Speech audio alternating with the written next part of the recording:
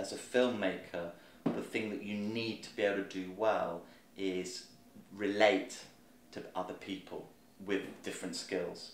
And therefore, because we were thrown together, different personalities, um, it, and because we had so little time, and filmmaking is about bringing lots of people together with very little time, what I learned, what I learned I was good at, was being able to get on with different people.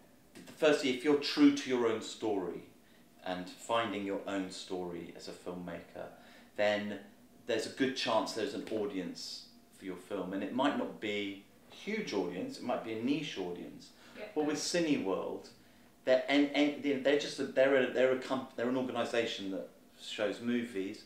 Um, if they believe there is an audience for the film, then they will give you their spaces, as Odeon would, as Showcase Cinemas would. Cineworld said, we'll give you one week. Everyone gets one week.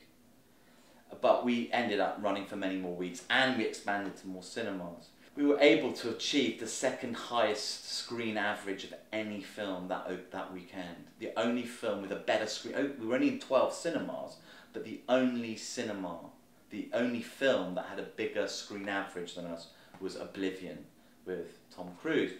You know, it cost me about to re- release the film myself about thirty-five thousand pounds, but I got it all back from the cinema straight away. To have the same kind of success that I had, okay.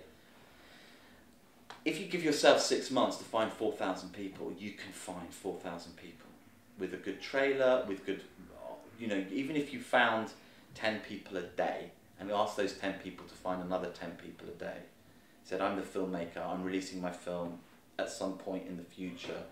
Can you help? People respond to that. Because it's a film. It's exciting. People respond to that, and it's the antithesis of Hollywood blockbuster marketing. It's the antithesis of it. And I think people crave that. They crave community, and they crave to be part of something that's authentic. Run fast for your mother, run fast for your father.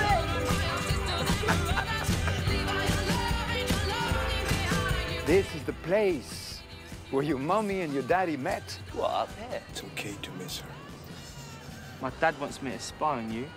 Don't think he likes Greeks. We'll take kebabs off the menu if you ask your son to stay away from my daughter. Perhaps you wouldn't be like this if we were Greeks. Harry's not like that. Because he works in a kebab shop. Yeah, Harry's more like that. Gotta get out of this place. I'll do whatever the bank wants. Call me when you want to go public. I just quit my job.